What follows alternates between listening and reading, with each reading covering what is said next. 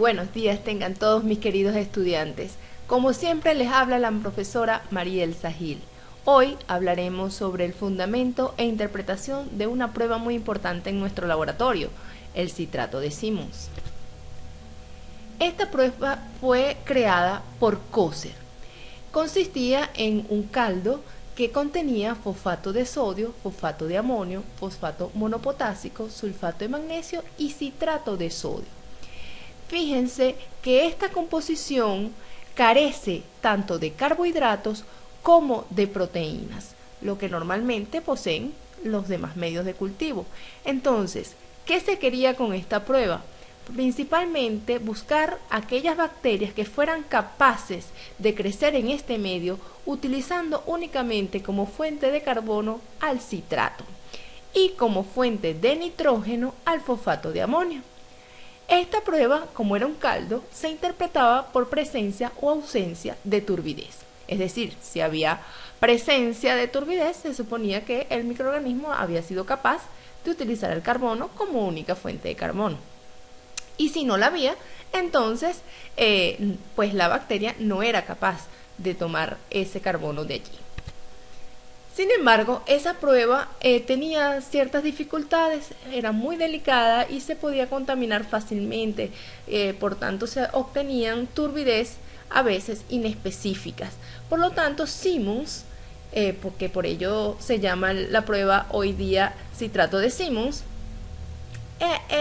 arregló este problema agregando agar para colocar el medio sólido y le agregó un indicador de pH que en este caso es el azul de bromotimol. Ahora bien, eh, la prueba sigue siendo exactamente la misma, el fundamento, pero en este caso ya se interpreta de forma diferente. ¿Por qué? Bueno, sencillamente porque al agregarle el indicador de pH tenemos cómo medir qué productos están produciendo allí, si se alcaliniza o si se acidifica el medio y en ese entonces pues va a virar ese indicador de pH. ¿Para qué se usa esta prueba? Bueno, principalmente se usa en las baterías de identificación bioquímica para determinar o identificar bacterias generalmente pertenecientes a la familia Enterobacteriaceae también sirve para algunos bacilos gram negativos no fermentadores, ¿ok? Y básicamente se fundamenta, como ya se eh, dijo anteriormente, en la capacidad del microorganismo de tomar el carbono del citrato y eh, el nitrógeno del fosfato de amonio. Pero ¿qué es lo que realmente sucede allí? Eso es un proceso un poco más complicado. ¿en qué se fundamenta esta prueba? El catabolismo del citrato, fíjense, es algo complicado. ¿Por qué? Porque las bacterias normalmente comprenden un mecanismo enzimántico que no tiene la intervención de la coenzima como eh, normalmente sucede en otras reacciones. Esta enzima que poseen las bacterias que pueden tomar el carbono del citrato, eh, poseen una enzima llamada citricasa o también citrato oxalacetato liasa. Otros autores la llaman como citrato de esmolasa. Esta reacción va a requerir un catión bivalente. Ese catión bivalente se lo va a proporcionar el magnesio que está en la fórmula de esta prueba. Ahora bien, esa reacción va a generar la producción de unos productos llamados oxalacetato y piruvato pero estos a su vez van a dar origen a ácidos orgánicos en un medio de pH alcalino. ¿Y de dónde sale ese pH alcalino? Va a ser generado porque aquellas bacterias que fueron capaces de tomar el carbono del citrato también son capaces de tomar el nitrógeno del fosfato de amonio. Entonces, la utilización de ese nitrógeno es lo que me alcaliniza este medio. Otra cosa, estos ácidos orgánicos entonces van a ser usados como fuente de carbono generando carbonatos y bicarbonatos que van a alcalinizar aún más el medio y es lo que realmente hace virar el indicador de pH. Ahora veamos cómo se interpreta esta prueba. Si la prueba, eh, el tubo original es de color verde, ¿ok? Y eh, si vemos que el color de la prueba o, o del medio queda del mismo color, queda verde, tenemos que la prueba es negativa, es decir, allí no hubo ningún tipo de reacción. Ahora bien, si tenemos un color verde, pero observamos un crecimiento visible del microorganismo, esa prueba se debe considerar positiva.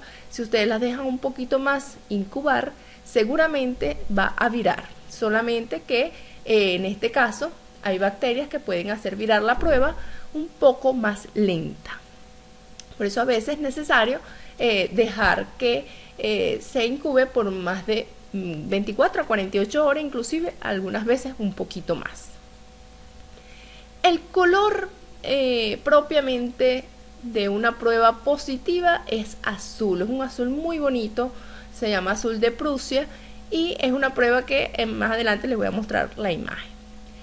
Si por alguna razón tienen duda en la interpretación del color final, si está azul o no está azul, o si se puso un poquito más un poquito menos, pueden eh, compararlo con un tubo de citrato no inoculado y de esta manera pueden acabar con la duda.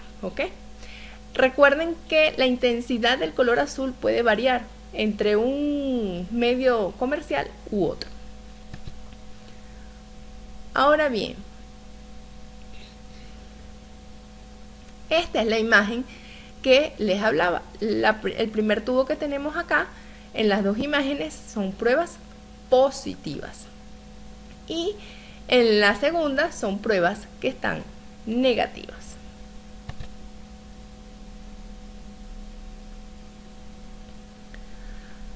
Un dato muy importante, pero que no puede dejarse de mencionar, es cómo se debe sembrar el tubo del citrato. Este medio es muy delicado. Se debe sembrar con un inóculo muy ligero, eh, generalmente usando la aguja o anza recta y eh, en cola de pescado, es decir, sencillamente tocamos, damos un zigzag y ya terminamos el sembrado en forma de zigzag o de cola de pescado, usando entonces, como les dije, el anza recta o la aguja porque es muy importante, ya lo vamos a decir más adelante, eh, que no puede quedar un inóculo grueso. Ok, esto se incuba por 24 horas a 35 o 37 grados centígrados y culminado ese tiempo vamos a observar los resultados. Ahora bien, como les dije, hay errores frecuentes que originan falsos positivos. Uno de ellos es un inóculo muy fuerte. El inóculo no puede ser muy grueso porque eso puede originar Primero que se forme un pigmento amarillo cobrizo sobre el agar que pudiera dar el eh, eh, pudiera dar una imagen parecida a que haya un crecimiento, pero no es cierto. Y lo otro es que tanta cantidad de bacteria colocada allí, que vamos a suponer que esas bacterias no, no eh, utilizan el carbono del citrato, ellas van a morir, obviamente. ¿Por qué? Porque no pueden utilizar el carbono.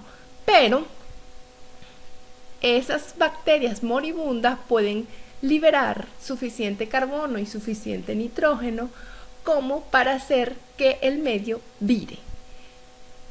Esto haga que creamos que el medio eh, se ha vuelto positivo o es positiva la prueba. Por otra parte, eh, es en cuanto al inoculado. En cuanto al sembrado, es muy importante que el, tubo del citrato sea el primero en que, nosotros vayamos a eh, sembrar de una batería de tubos.